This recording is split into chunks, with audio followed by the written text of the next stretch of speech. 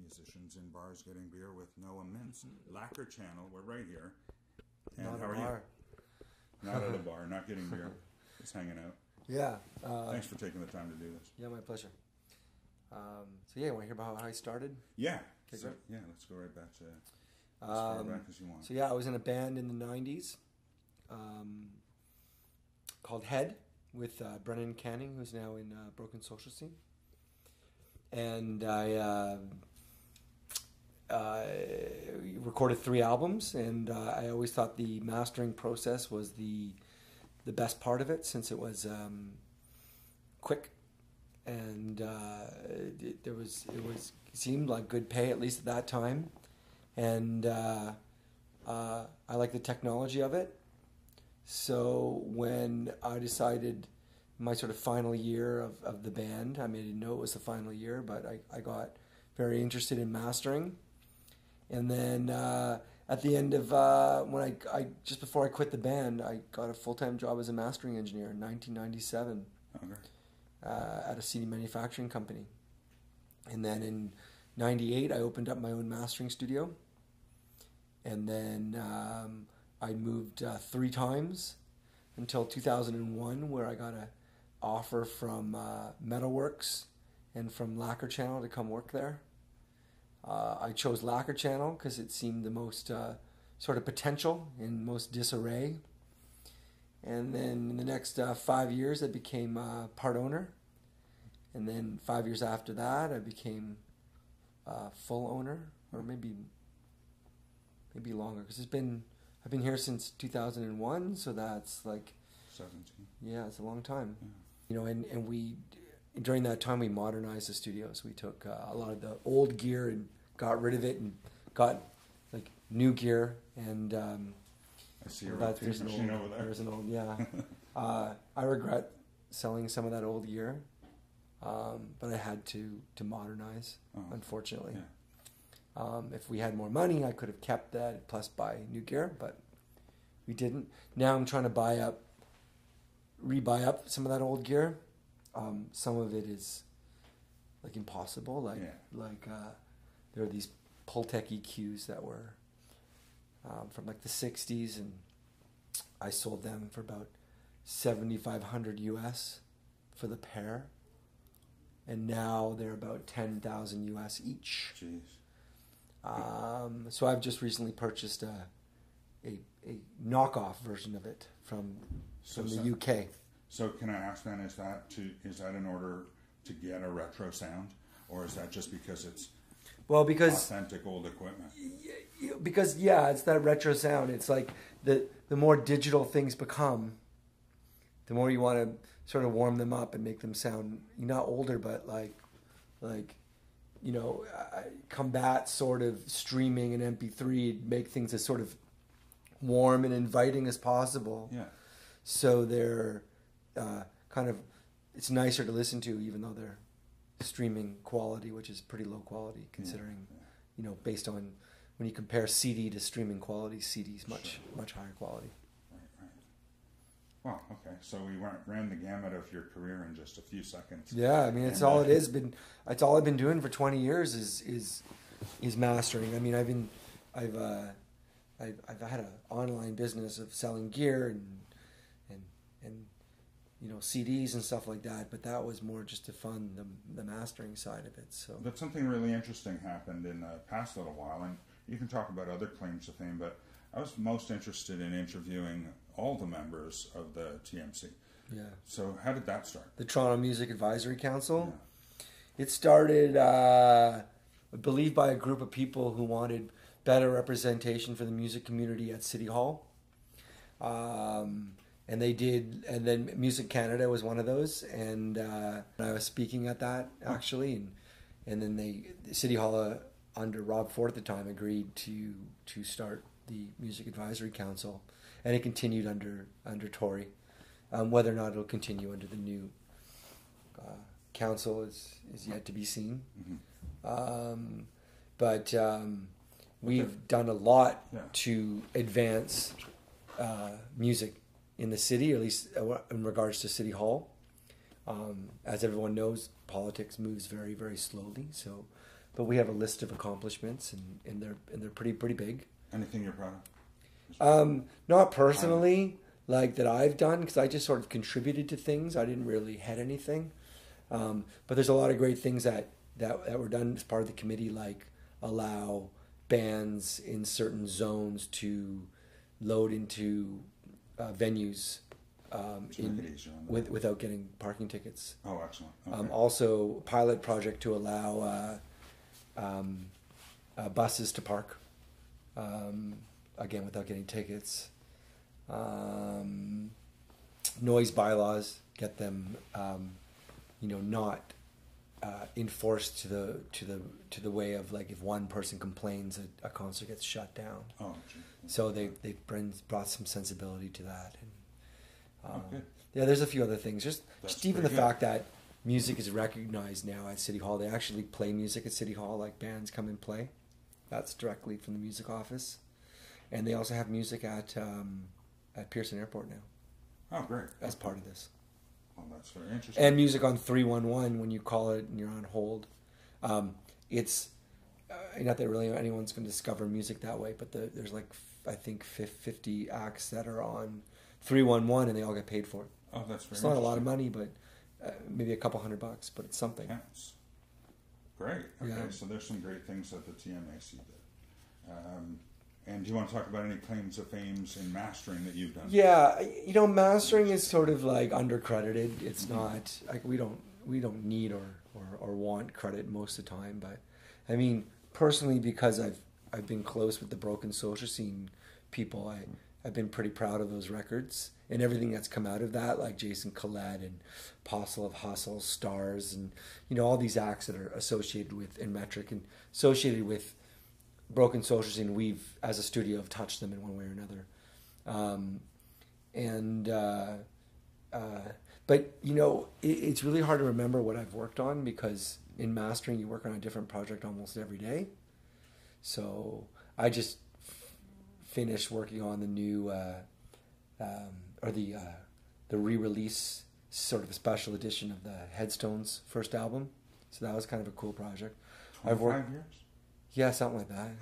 I've worked on a, a, a, a good portion of Hayden's albums, which is great because I went to high school with the guy and Oh, was very close with him. So it was, you know, there's no guarantee you were, you're friends with somebody, they're going to work with you. So uh, it was nice that he did for the albums that he did. Same with Broken Social Scene. I haven't, I haven't worked on the past couple albums with Broken Social Scene, but that's, you know, it's not a big deal because a lot of that work was done in the U.S. and when a band gets to a certain level in Canada, they they need or they feel they need to go to the U.S. to get a certain amount of legitimacy, and you know I don't I would never uh, sort of fault them for that. I think it's it's it it it sort of uh, uh, sort of states you know we've we've we've made it to some degree that you know we don't have to don't have to stay local, Sure. and I, I appreciate acts that do stay local, and a lot do. Um, but I, again, I wouldn't fault them. They usually come around anyway. Any new acts you like nowadays? Um, yeah, tons. I, but you know, like I like I said, it's it's so hard to remember. Um, uh, I, I did the latest uh, Born Ruffians album. I really like that. Um, there's a guy uh, called uh, Ensign Ensign Broderick who used to be in a band called Blue Peter. He's releasing his debut albums basically like you know this year he released them, and he's like in his fifties, Yeah, that's 20 years after Blue Peter. more even. Though they've done a Blue Peter was show. 80s. Yeah, they've Since they probably released anything. once or twice. Oh yeah, yeah. But I mean, so so, and his music's great, and he's he's done a ton, a bunch of albums already, uh, and he's very prolific. And but his music is really, really fantastic. You know, What's his instrument? What does he do? he he's now? keyboards, Okay. but but he plays a lot of it, and he has like like some really amazing players on Great. on on the album. So So it's like, like something to like, check out. yeah. Um, so you worked on that one too? yeah, I worked on I think all all his albums. Oh, yeah. Okay. Uh, he's got an interesting. I'll just I'll just move out of frame for a second, but Sure. he's got an interesting package here. He's um, this is something he self-released. He's now on uh, on Six Shooter. Can you get that? Yeah. And then so it's like a big thing, but then if you o- open it up, it's got these big albums in there, and then and then all this all this artwork, like Wow. just beautiful paintings. You know, it's like um, I think this this album artwork is. That's something that's being released. This was released. This was self-released. I don't know if the record label is going to re-release it, but it's um, uh, it's pretty special edition. It's pretty yeah, pretty incredible. that's substantial. and the records are 180 gram. They're really they're really great. It's Wow. it's pretty awesome. It's called uh, Ranger. Um, Right. but yeah, uh, uh, I, I I'm proud of almost. I, it's a weird thing to say, or maybe it's not weird, but it sounds almost political. But I'm proud of everything I've worked on. Like Sure. it's like um, the only things I'm not proud of are the ones that like I've been rejected, and it's like in a 20 year career, I, I'm lucky enough to only been rejected a few times, but they were, you know, I, I'm not going to mention names, but they were projects I would have liked to have done. It's just I didn't. What I did didn't resonate with them, and that's that's fine. Um, I, I could probably, I'm guessing it's about five jobs in my whole 20 year career. Have thousands of albums, but you know, those are the ones that sort of sting a little bit because you wish you could have got, you could have got, got it right. But it just shows that mastering's a, mastering's a process and mastering's an interpretation. It's not, there's no objectivity in mastering. There's a bit of an objectivity in the way you approach mastering, and I think that's getting lost a little bit um, like all mastering engineers should have sort of something in common in the way that, hey, That's okay. She's right here. the way they work technically, but you know, like the actual interpretation of the music, there's nothing objective about it. You know, you're you're gonna get it or you're not gonna get it, and and sometimes I don't get it, but it's, uh, luckily it's rare. So, but yeah, I, everything I've done, everything that's out there, I'm I'm pretty proud of it. Like I pay somebody to like, like almost daily post posts about albums we've worked on. It's not as much promotion. It's just it's just you know peacocking. Mhm. We just want to be like we want to be proud of the stuff we've worked on. Um, any funny anecdotes from uh, the biz? Maybe the road. From the road, like when I was in a band, man, I don't even know because I was I was sober and and and I didn't do drugs and I didn't have a really good time. Like like if you're on the road, like you know, having fun is is, is important. so I didn't have a lot of fun. I treated it like a job, and I think that maybe came through a bit, you know. So I didn't really. Um, the only thing about the only thing that's funny, and maybe it's only funny to mastering people, is that sometimes you'd be sitting there with a client and and and going through different pieces of gear, or going through a piece of gear and changing frequencies and trying to decide which is the right frequency or not, and agonizing over it, and then only to realize that the gear is not even on. Just shows you the the psychological side of it is really strong. That uh, that that that people can be you can be tricked into because we're, what we're dealing with is so subtle that you can be really tricked into thinking it's there. So, but um, I mean, I love what I do. It's like it's it's it's it's if if you like gear and you like and you like twiddling knobs, like eh, audio engineering is great for it. It's just it's a tough industry right now. Mhm. It's like not a lot of people are making money with it. Mhm.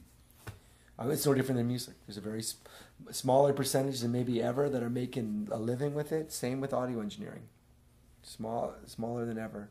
We're lucky. We've been around 44 years as, as a studio, so we're we're surviving and we're and we're doing okay. Um, I mean, I don't know what I'll do 20 years from now. I hope hopefully still this. I don't, I don't know what my ears will be like in 20 years. Now I feel like my ears are great right now, and I get them tested every five, and I'm due soon.